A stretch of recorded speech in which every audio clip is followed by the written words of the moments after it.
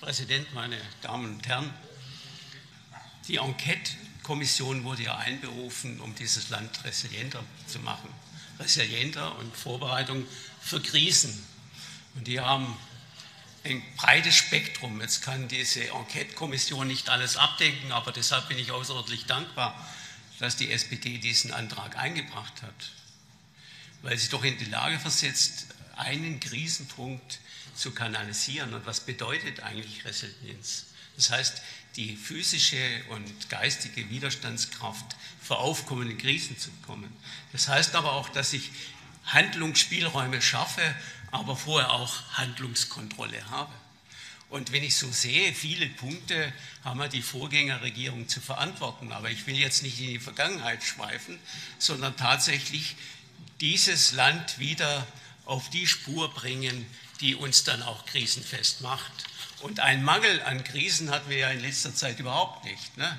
Also wir haben, stehen ja mitten in einer Krise nicht? und nicht nur in einer Bildungskrise, sondern tatsächlich auch in der größten Herausforderung seit dem Zweiten Weltkrieg.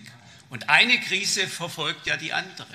Das heißt, wir haben Flutkatastrophen, wir haben die Energiekrise, wir haben die Bildungskrise und wir haben eine gesellschaftliche Krise, die häufig äußerst negiert wird in diesem Land, weil sie nicht wahrgenommen werden will und jeder in seiner Ideologie verharrt.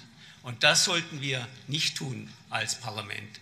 Wir sollten uns diesen Herausforderungen stellen und diesen Ball aufnehmen, der uns jetzt die SPD ins Spielfeld hinein äh, spielt.